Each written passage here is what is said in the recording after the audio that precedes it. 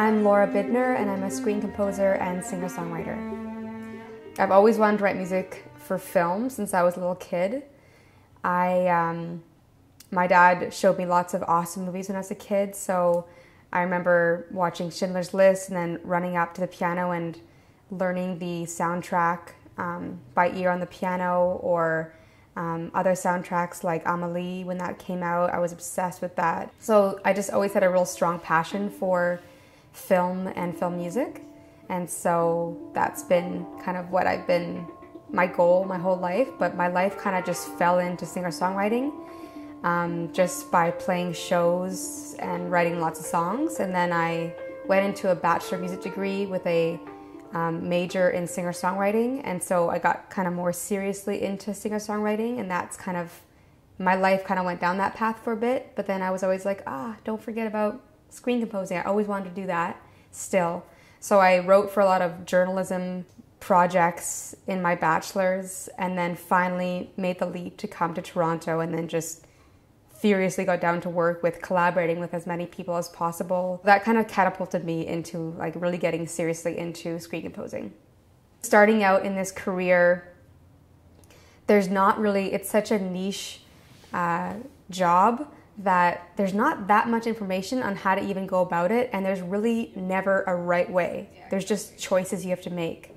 So for me, that was the biggest hurdle I had to leap over was figuring out okay, what's my voice? How am I going to do this? Because there's just so many ways to go about a career in the industry of singer songwriting and screen composing.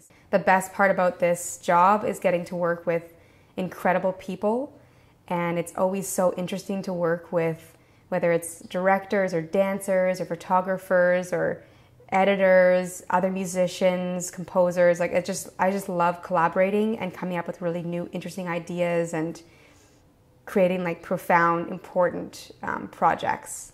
So that's and also I love performing and just getting to meet people and connect with a whole audience and that's just what really has always made me want to pursue this as like a full-time career. So that's that.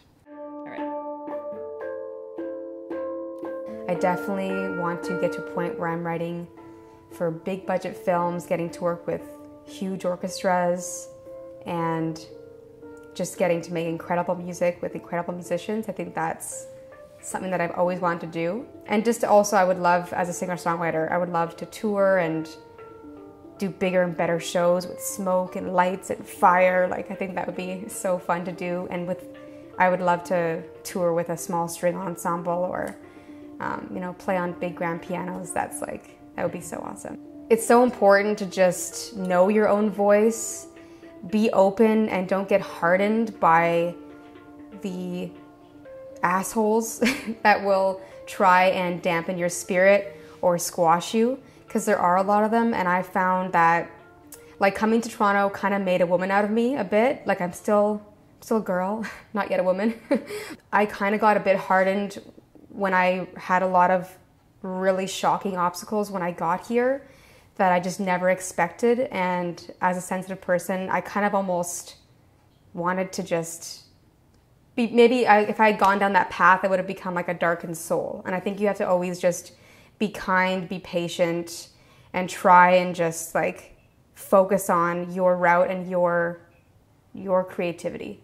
I, uh, I think that is kind of the hardest part about it. Um, but I think definitely my family being so incredibly supportive of um, my leap here to Toronto and my career. And um, also, there's an amazing community here in Toronto of arts and film and, and, and music, and just some so many incredible people that I've met that have become really close friends of mine and like mentors and supporters that have really like helped me keep going. If I didn't have them, my family, I probably would have given up for sure.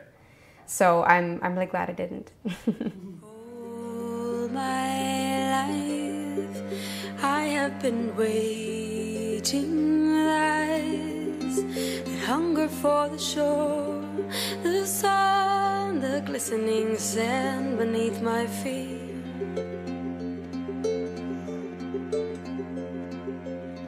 I seek a clear view of the sky.